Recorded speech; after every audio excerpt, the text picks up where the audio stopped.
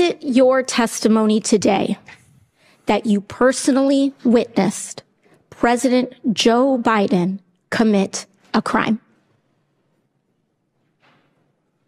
I believe the fact that he was sitting with me while I was putting together a Did you deal, witness the president commit a crime? Is it your testimony today? Yes.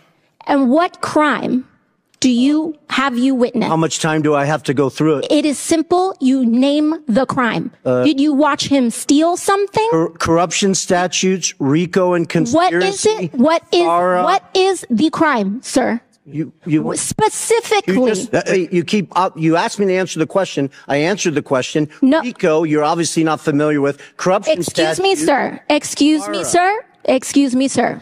RICO is not a crime. It is a category. What is It's the a category of crimes that you're then charged. You have charges. A long hundred. You list have of charges. Sir, Want please me to name, the exact statute Sir, under RICO? I'll- yes. well, it's funny. In this committee room, everyone's not here. There's over eight All right, sir. I reclaim my time. lawyers that I went to law my school. time. I I'll reclaim- Oh, but it gets better. Listen to what Tony Bobulinski said after.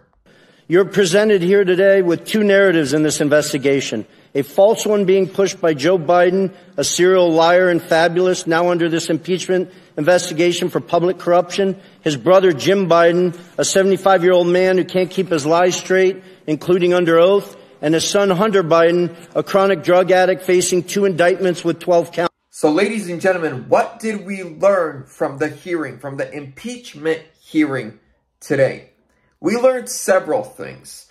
But the most important thing that we heard is under oath, Tony Bobulinski, former best friend forever of Hunter Biden and business partner with the Biden family, said under oath, yes, I personally witnessed, I was in the room when Joe Biden committed crimes, crimes of RICO, conspiracy, fraud, money laundering.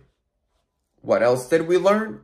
The Democrats had a total meltdown. They can't stand the truth. They can't handle the truth. They were flailing their arms around, especially AOC. They will do anything to cover up the crimes, the lies, the forgery, the money laundering, the being paid off by foreign adversaries that is coming from the Biden crime family.